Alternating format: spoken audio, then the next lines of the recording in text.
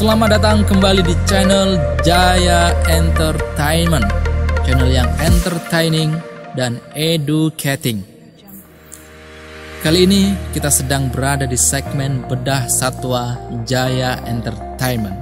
Dan satwa yang akan bedah pada kesempatan kali ini adalah Harimau Sumatera atau Panthera tigris Sumatera kita akan mencari fakta-fakta unik seputar harimau Sumatera yang mungkin belum kalian ketahui selama ini.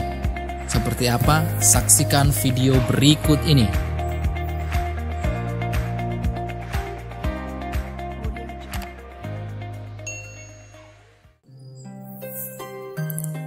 Sobat Gentainers di mana pun kalian berada, dan dengan siapa pun kalian berada, Sebelum kita masuk ke pembahasan inti, kalian harus tahu bahwa harimau pada umumnya termasuk dalam keluarga kucing atau Felidae. Genusnya adalah Panthera dan termasuk dalam spesies Panthera tigris.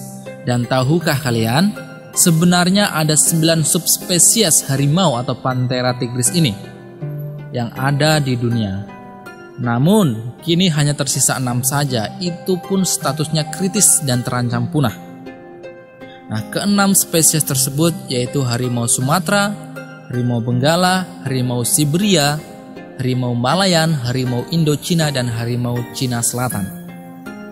Sementara dua harimau dari Indonesia yaitu harimau Jawa dan Bali telah dinyatakan punah. Lalu ada juga harimau Kaspia yang juga telah dinyatakan punah. Sayang sekali bukan? Oke langsung saja kita ke pembahasan inti pada video kali ini. Si kucing oren besar dari hutan Sumatera ini punya nama latin Panthera tigris sumatra. Layaknya hewan pada umumnya, harimau Sumatera juga punya banyak keunikan. Nah, bahkan keunikan-keunikan tersebut telah diteliti langsung oleh Zoological Society of London yang mana mereka telah menemukan 12 keunikan yang dimiliki oleh harimau Sumatera. Nah, namun pada kesempatan kali ini kita hanya akan membahas 7 fakta yang paling unik dan ciamik saja tentang harimau Sumatera ini. Oke? Langsung saja kita bahas satu persatu. Fakta yang pertama, harimau Sumatera adalah harimau yang terkecil di dunia. Nah, kalian pasti sudah tahu tentang fakta yang satu ini. Namun, tahukah kalian sebenarnya harimau terkecil itu jatuh pada harimau Bali? Namun karena keberadaan harimau Bali telah dinyatakan punah, maka status harimau terkecil jatuh pada harimau Sumatera. Dari keenam subspesies harimau yang masih hidup, harimau Sumatera memiliki ukuran tubuh yang relatif lebih kecil yang mana ukuran harimau jantan dewasa bisa memiliki tinggi hingga 60 cm dengan panjang dari kepala hingga kaki mencapai 250 cm dan beratnya mencapai 140 kg. Sementara harimau betina memiliki panjang rata-rata 198 cm dengan berat 91 kg. Artinya harimau jantan dewasa lebih besar dibandingkan dengan harimau betina. Fakta yang kedua adalah fakta bahwa harimau Sumatera telah berburu sejak usia satu tahun. Sobat Gentainers di mana pun kalian berada, uniknya dari harimau Sumatera ini adalah sifat kemandirian yang sudah ditanamkan sejak balita. Nah, karena di usia satu tahun saja mereka sudah mulai bisa berburu. Nah, sobat Jintainers, usia satu tahun kalian sudah bisa apa? Ayo, palingan juga boker di celana ataupun ngompol ya kan? Nah, meskipun demikian, harimau Sumatera baru berpisah dengan induknya pada kisaran umur atau usia 2 tahun saja. Amazing bukan fakta yang satu ini?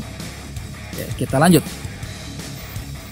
Fakta yang ketiga, harimau Sumatera itu senang berdiam di area yang dingin atau dalam literatur barat sering kita sebut dengan ngadem. Ya. Jadi saat waktu senggang ataupun gabut karena kekenyangan, atau ditinggal pas lagi sayang-sayangnya, harimau Sumatera ini lebih suka menyendiri dan ngadem di tepi sungai. Bahkan juga kadang mereka berenang sambil menyelam masa lalu. Iya, iya, iya, iya, iya. Lanjut, fakta yang keempat, jumlah harimau Sumatera tinggal ratusan. Nah, sayang sekali, saat ini jumlah harimau sangatlah kritis.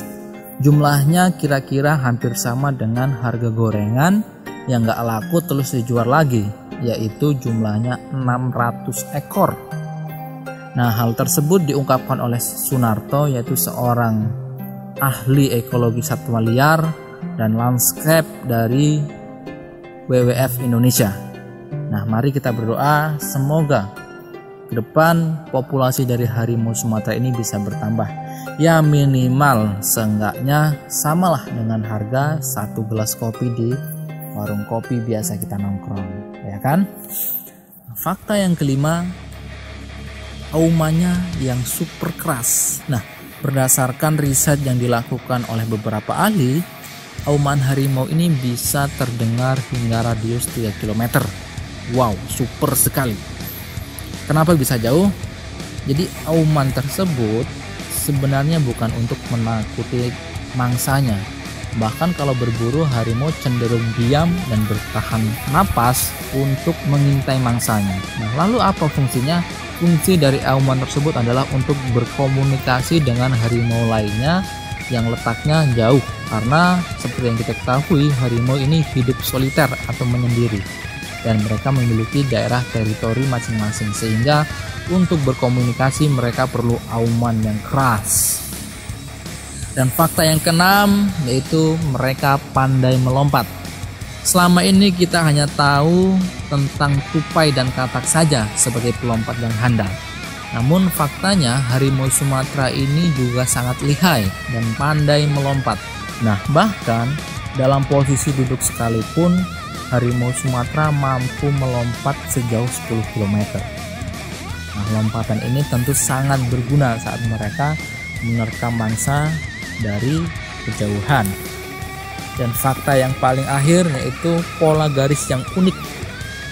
Sobat Gentaner sekalian, kita masuk ke fakta unik harimau yang terakhir, yaitu harimau ternyata punya pola garis yang cukup unik, yang mana pola garis tersebut coraknya lebih tipis dibandingkan dengan subspesies harimau lainnya. Nah, jadi harimau Sumatera ini terlihat lebih elegan, lebih menarik, dan lebih ramping. Nah, mungkin itu saja video pembahasan kita kali ini. Semoga kalian terhibur dan jangan lupa untuk like, subscribe, dan komen untuk request video selanjutnya. Hewan apa yang akan kita bahas? Silahkan komentar di bawah ini. Oke, terima kasih dan saya akhiri. Assalamualaikum warahmatullahi wabarakatuh.